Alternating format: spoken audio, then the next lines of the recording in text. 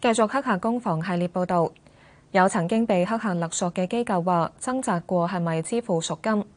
網絡安全專家話一般唔建議向黑客屈服，但都有例外情況。由許希同講下。咁我思考咗一陣，究竟係誒要去誒俾誒贖款啦，定係要誒去誒即係進一步去報警處理啦咁。有本地旅行社曾經喺二零一七年被黑客勒索過百萬，當時擔任行政總裁嘅袁振寧話：有掙扎過俾唔俾。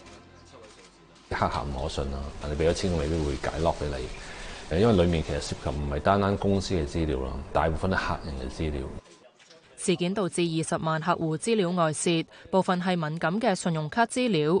公司話事後已經即時通知客戶，最大損失係聲譽受影響。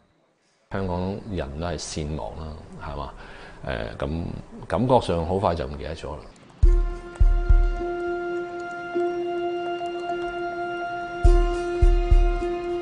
我會覺得有啲中小企，如果佢真係譬如話佢嘅 backup，佢真係冇咗 data，咁我覺得會有好多企業佢會避啦。我哋絕對唔建議企業俾贖金啊，因為你咁樣樣就等於係資助咗嗰個誒犯罪集團，亦都唔建議同佢哋去去談判咯。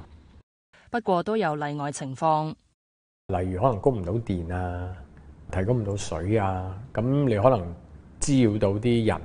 譬如話兒童醫院中咗垃圾軟件，因為係牽涉到一啲衞生醫療嘅器材，咁如果佢唔俾贖金，係真係會有人人命嘅傷亡嘅。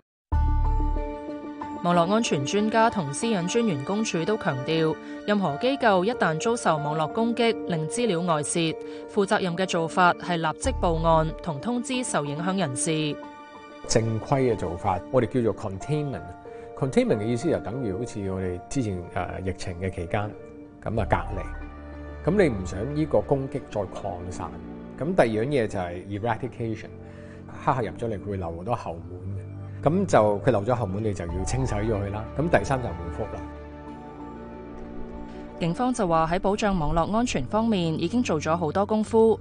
網罪科嘅網絡安全中心廿四小時運作，協助政府部門、銀行等防範針對重要基建嘅網絡攻擊。